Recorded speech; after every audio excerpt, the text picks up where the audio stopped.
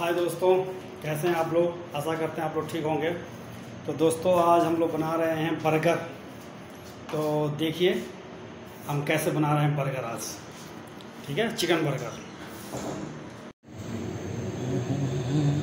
तो देखिए दोस्तों, ये देखिए हम लोगों ने चिकन डाल दिया। चिकन टिक्का, इसका फ्राई करेंगे। फ्राई करने के बाद उसको फिर बनाएँगे बर्गर। ये देखिए, ये फ्राई कर रहे हैं अल्ताफ भाई, और ये देखिए टमाटर और प्याज, और ये पीस फ्राई हो चुका है। और ये रहा बर्गर। ये देखिए। अब फाइनल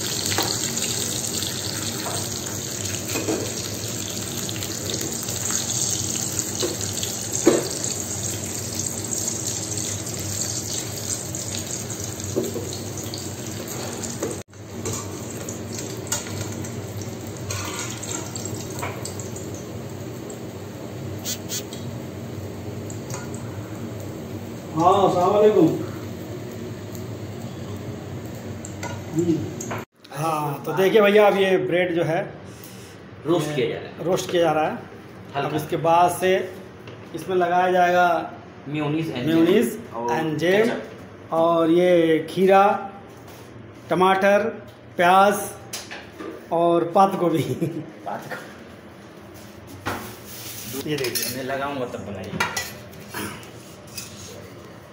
देखिए लगा रहे हैं।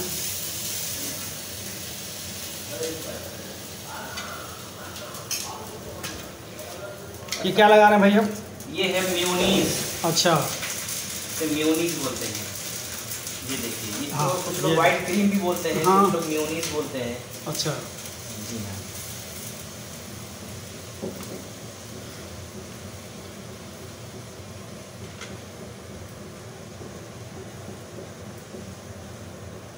इसको अच्छे से फैलाया जाएगा। अच्छा। पहला जितनी क्वांटिटी में चाहिए इस पर निकाल देंगे हम्म। और उसको देखिए ऐसे एक प्यार से आराम से इसको हाथों से हम्म। ऐसे मेनीज को फैलाया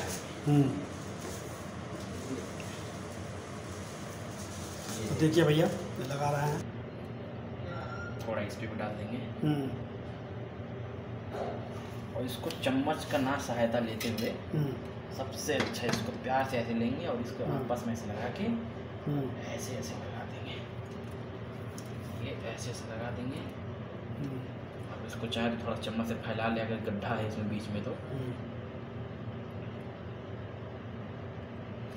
ये रेड सॉस ज़्यादा लगा है। इसी में तो सारा स्वाद है क्योंकि आप इसमें हम्म। नमक डालेंगे नहीं और। इसी में है नमक। यही देगा स्वाद। अच्छा। जी हाँ। जैसे कि देखिए एक लग के रेडी हो गया है। इस तरह हम चारों में लगा लेंगे अच्छा।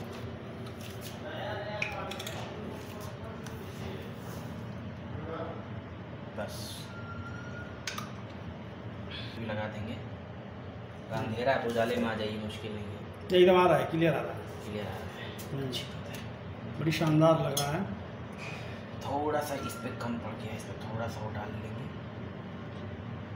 मतलब के अनुसार हम्म, निकल ले।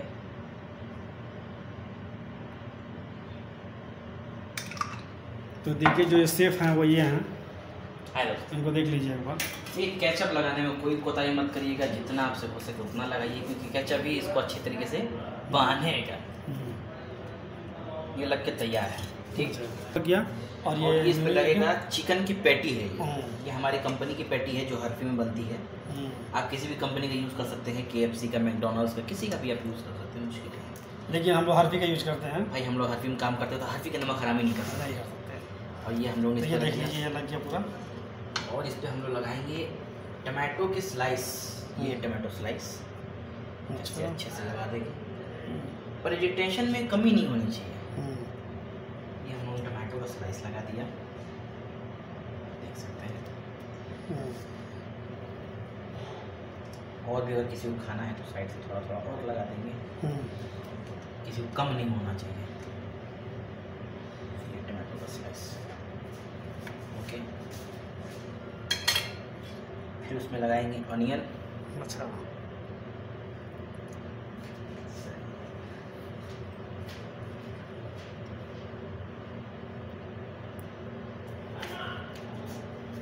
अच्छा।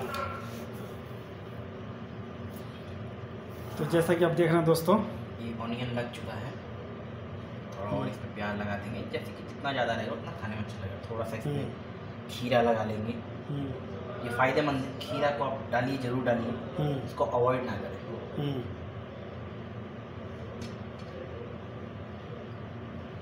खीरा। हम्म, अब इसमें एक काम और करेंगे थोड़ा थोड़ा किचप। केचप और लगाएँगे। क्योंकि यही देगा मज़ा इसमें।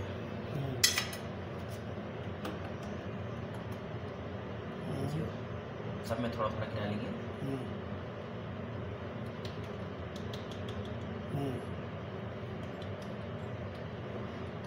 केचप आ गया सब में थोड़ा थोड़ा हम्म,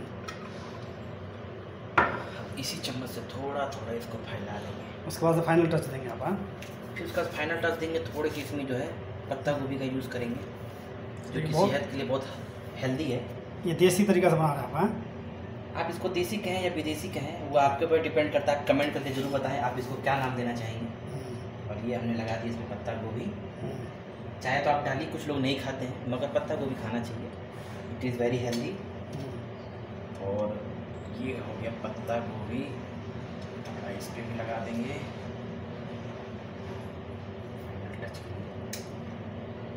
और ये हमारा अभी फ़िलहाल तैयार है। अब इसको लास्ट स्टेप जो कि है ये ऊपर का बन इसको हम लोग लगा देंगे अच्छे तरीके से।